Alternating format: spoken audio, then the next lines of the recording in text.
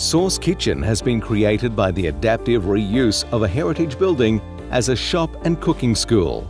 The building is over 100 years old and many of the original materials such as brickwork, timber floors and industrial style roof trusses remain. Sauce Kitchen demonstrates good conservation practice in the adaptive reuse of a heritage place.